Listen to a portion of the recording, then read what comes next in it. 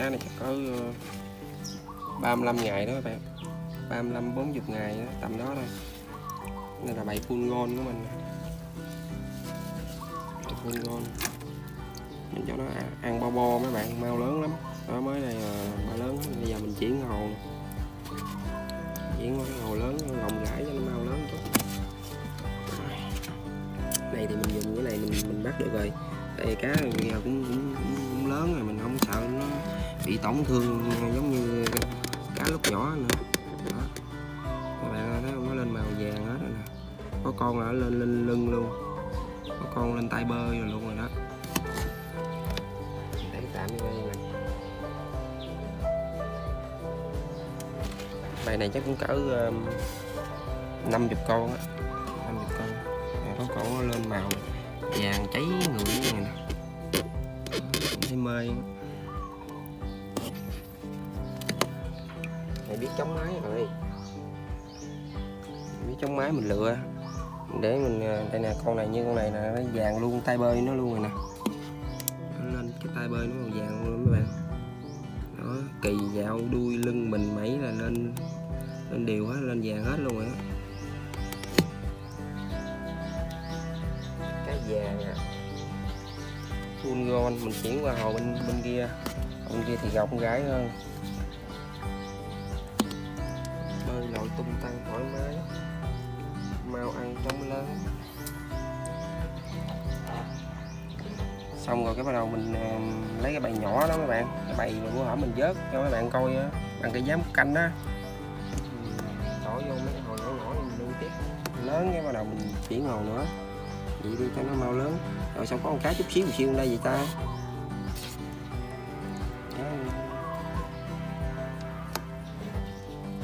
Xi, xi lưỡng lộ đê quá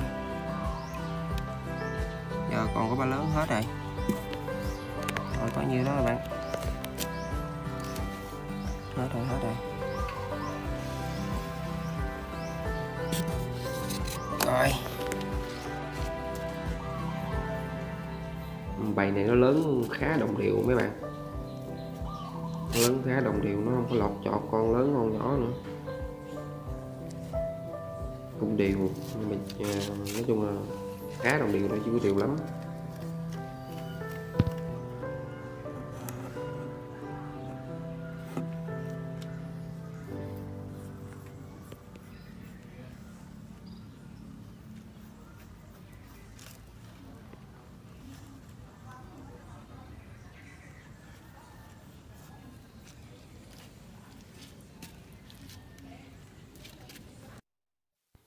Ừ, đây nè mấy bạn cái gian sơn mới của ờ, bầy cá gon nè.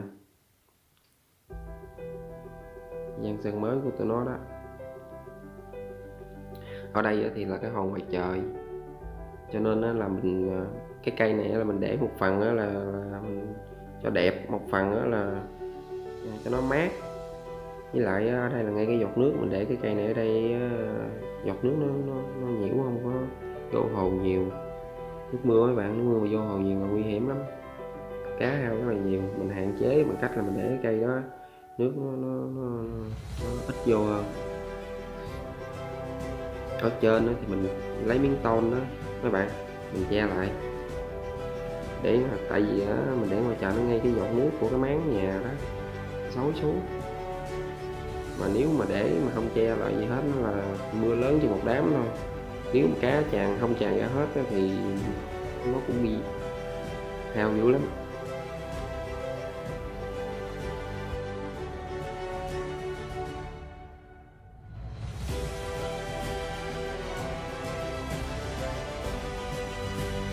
Nè mấy bạn cái tấm tôn này mình che lại kiểu gì nè. Đó nó rớt xuống tấm tôn nó, đổ người ra ngoài hết mình tính là cái miếng tôn nó dọc theo cái cái hồ nhưng mà không được. Này là lá dứa các bạn. Mình bỏ lá dứa vô cho nó trong nước cho nó sạch nước bên trong nước. Các bạn cách biết tác dụng của bỏ lá dứa vô đúng không?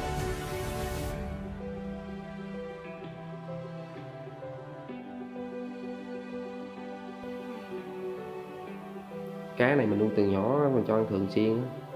Mình hay lại mình mình, mình ngắm mình ghẹo chọc nó cho nên là nó cũng dạng lắm mới đổ xuống hồ xíu à.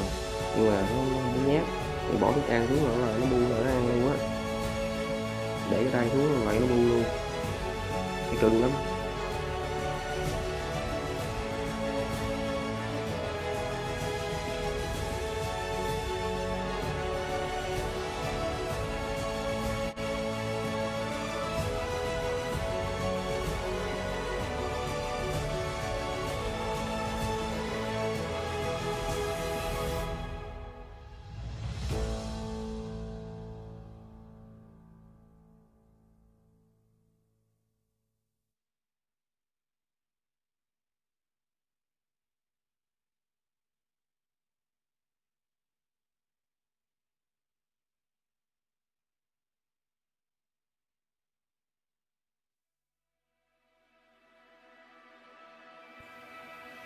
Nè các bạn bỏ thức ăn xuống luôn các bạn.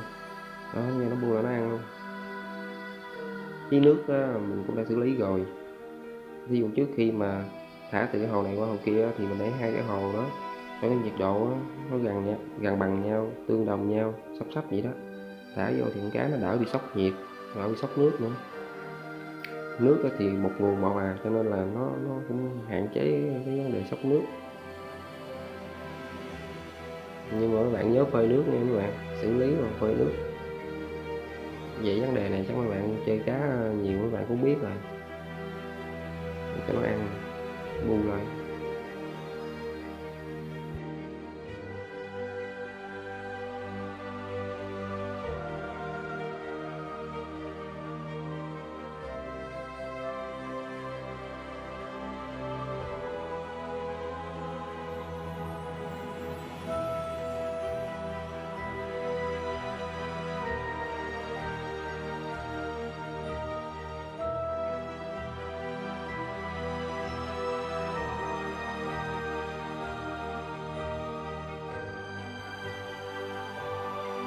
Con cá mà dọc thường xuyên các bạn. Mình bạn cho tay xuống và bún bún thường xuyên luôn nó quen nó dạng lắm.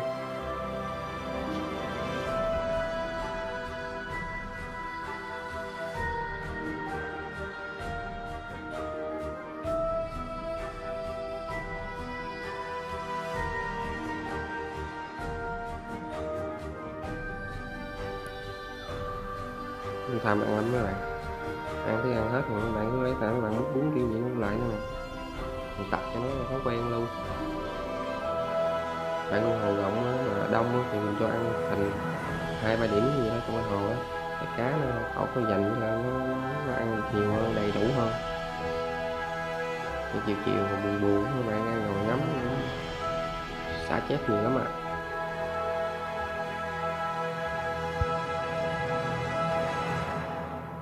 Hôm nay mình dừng ờ, video đây các bạn.